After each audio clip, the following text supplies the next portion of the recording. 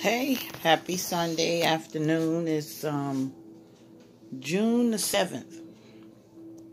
And it's been a minute since I've been on here, but today I'm making a cocktail and I'm calling it Summer Madness because we're getting there. We're getting to the madness.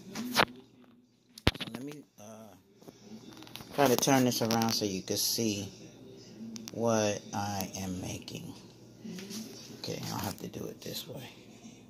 Okay, so I've got cherries, lemons, and an orange. So that's one orange cut and slice, one lemon, and about a half a pound of cherries.